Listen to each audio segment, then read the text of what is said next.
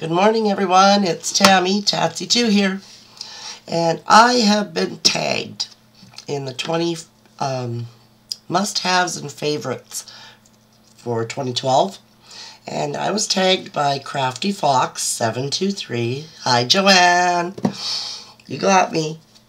Okay, and I'm sorry, ladies. I am full of boogers today. I have got the nastiest head cold, but I'm going to do this anyways.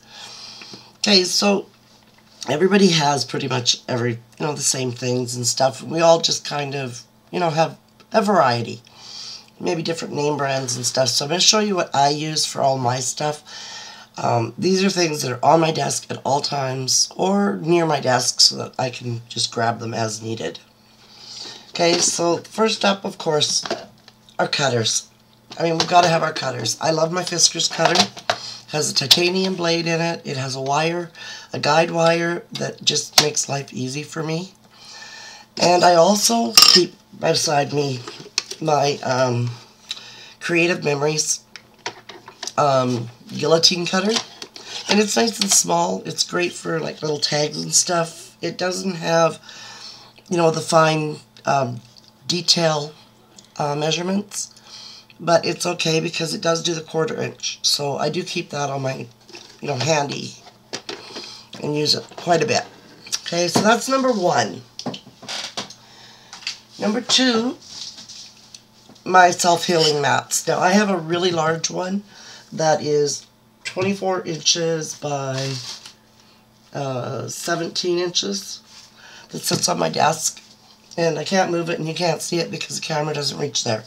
But I also have these, I have two of these and these are just small self-healing mats. I picked them up at a dollar store and you know they're really really great to have because they're portable. You can move them anywhere on your desk that you need or wherever you're crafting. Okay, so those those are a must-have. Otherwise you're cutting your desk up. Okay? Um, okay, now everybody knows how much I love to fussy cut. Now everybody says to fussy cut on a, a, a glass. Well, I fussy cut on a little mirror.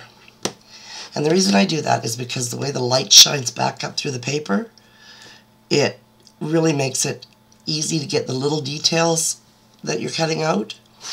So to me that is one of the biggest must-haves and I like this size because it's just compact, it's portable, I can stick it anywhere. Okay, and there, yeah, you did get to take a peek at me. How's that? There you go. There, see? Okay, so everybody got a peek at me. Okay, now, um, another one, number four here, is chipboard. Everybody knows how much I love to build things and stuff. Well, I use a lot of chipboard, and I use a lot of different weights of chipboard. I use them in natural colors, in black. Um, I don't care for the white. It doesn't seem to... I don't know, I just can't... I just don't care for it that much. So, I prefer of all the natural, or the craft colored one. And I love the black for, you know, well, it's my standby. And it's actually thicker than my others. And I do have, like I said, several thicknesses. So to me, that is a big must-have. And I have it in several sizes as well. 8.5 by 11, 12 by 12, and I even have 16 by 16. Okay, now also, knives. To me, craft knives are very important because of all the fussy cutting I do. And I only use, for the knives, I use a couple of the just simple um, X-Acto knives. You know, they work great. Uh, replace the blades whenever I need. But I really like this one for my Cricut too because I don't know if you can see it, but it's a square blade. And it's beveled on both sides like a chisel. Well, not like a chisel. Chisel's are on one side. But it really works great when I'm doing all those little fine corners. It really cuts those corners out because you can just press straight down with it. Works fantastic. Okay? So to me, yes, those are a big must-have. And if you're wondering what I'm doing, I've got a big, I have a big spinner over here. And I put all my stuff in it as I'm going along. Okay. Another must-have for me are things sorry, gotta find them now because I forgot to pull them out. Okay. Okay, I use clamps. And I like these. They're like plastic clothespins and they are super strong. And I use them for everything. And I have to have a good nail file because when you're doing chipboard, you know, it just... Those edges are so important. And then my paper, my piercer. And I like this one because I can extract it, like I can put it out to however, you know, whatever length I want. And that is, to me, is absolutely ideal. Because some things, you know, I don't need to pierce quite as deeply. Okay. Now, I have a lot, a lot of things that, to me, aren't a real necessity. But I'm only going to do the ones that, like I said, um, I use all the time. And scissors, to me, are, of course, the biggest must-have. These are what I just call my ginormous, everyday, whatever scissors. Okay, and then I have my cutter bees. And these are so awesome, and I love them. And they, yes, they stay in their case when I'm not using them. Okay? They're very important to me. Um, they, you know, they just do the finest little things. And then I have my fussy cut scissors. Um, this pair, as you can see, is well loved. Um, it got a boo-boo, it broke, and I had to take, uh, band actually bandage it back together.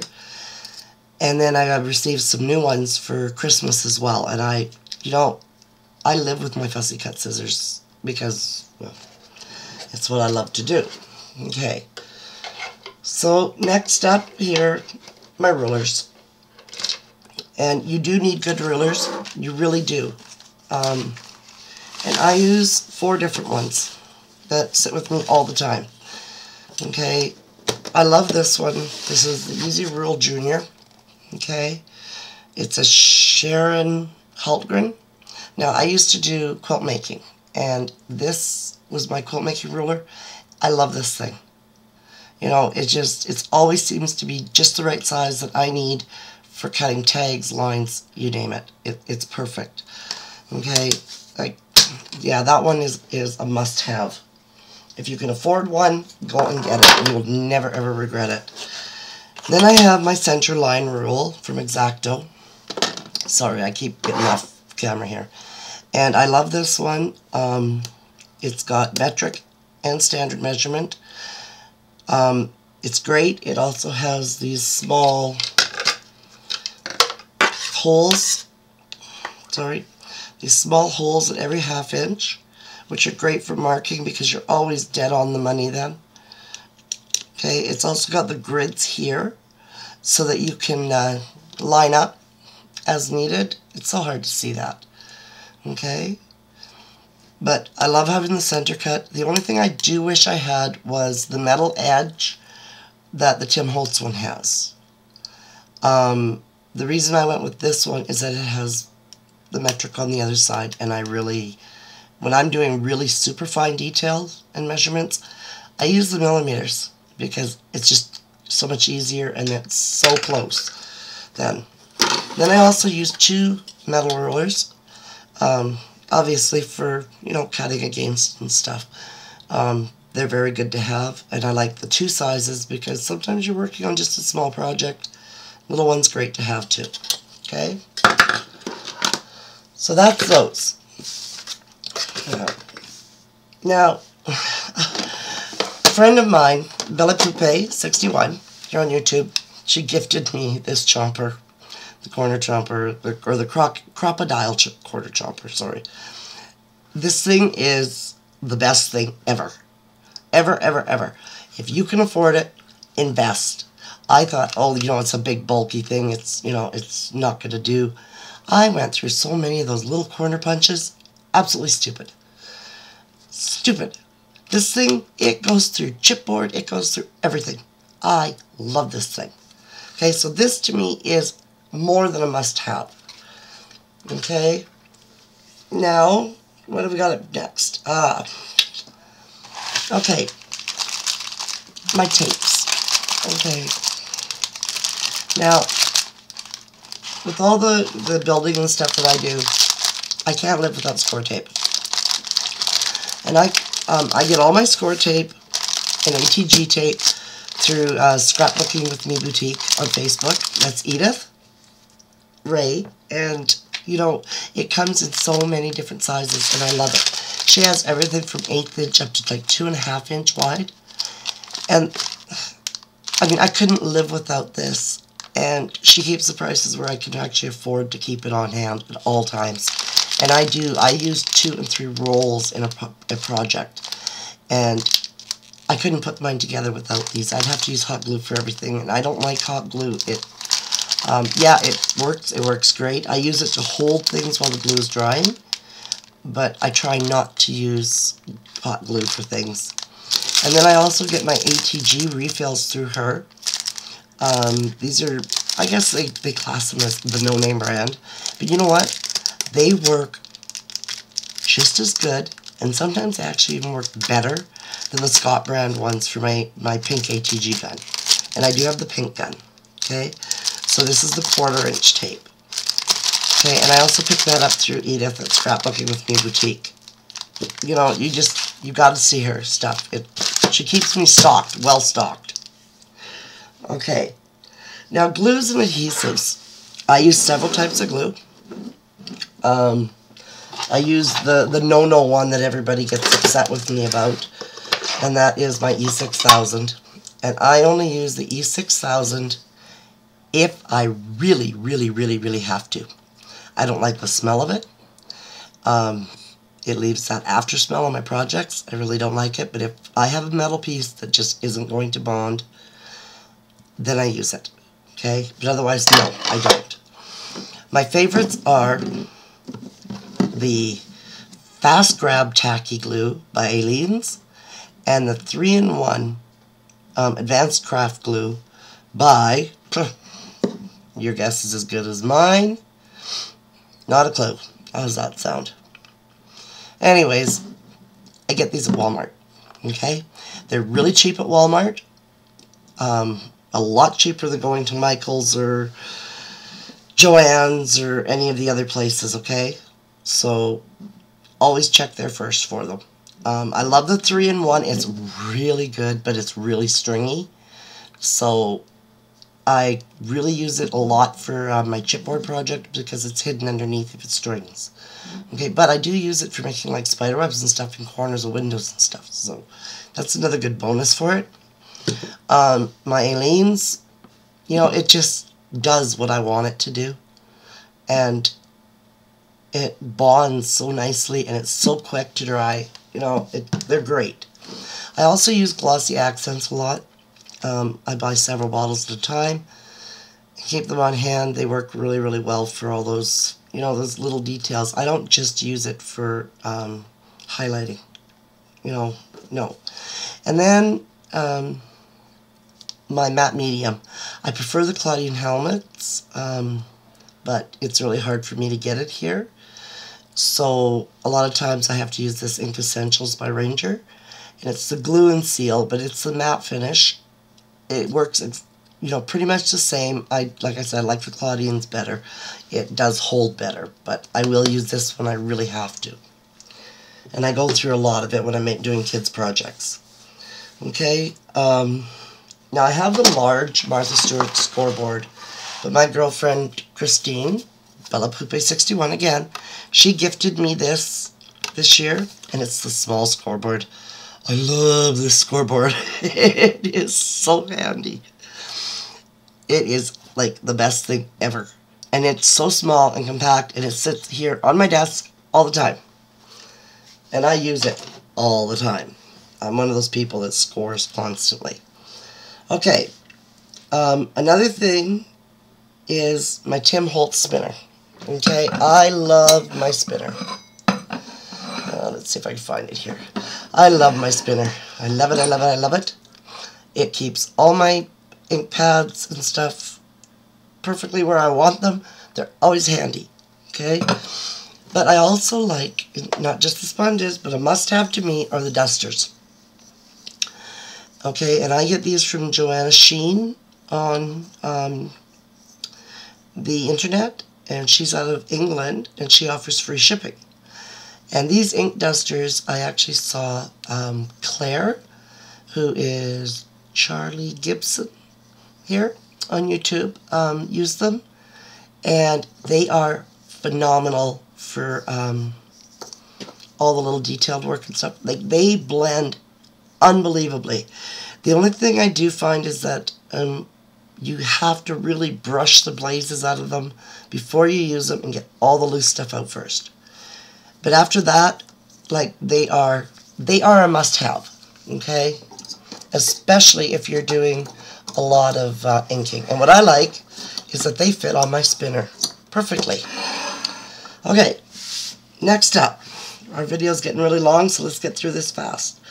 Um, embossing powders. I mean, I love embossing powders. My favorite are the Lindy's, um, the Magic Moon Pearls. I really love, I love all of the Lindy's embossing powders. They're two-toned, beautiful things. And I do a lot of heat embossing. Perfect to have. Okay. Um, my Lindy's, okay. To me, this is a must-have. This is my basket of goodies. Well, one of my baskets of goodies. And that is my Lindy's. Whether it's the sprays, the Moonshadow inks, I'm really hooked on the Magicals. Um, I mix them up with either like in a spray bottle of water or just as is and paint with them. Whatever. As you can see, there is a basket full of them. I do have to figure out an organization to for them. That's my goal for this next year. But Lindy's, they are a must-have for any project that you're doing. Okay, um, and of course the distress inks. I mean, I have, I think, 17 of them. I would love to have all of them, but I use, I have the 17 that I use the most. Um, must have, must have, must have. They just bring your project to life, okay? So, that's a must have. Um,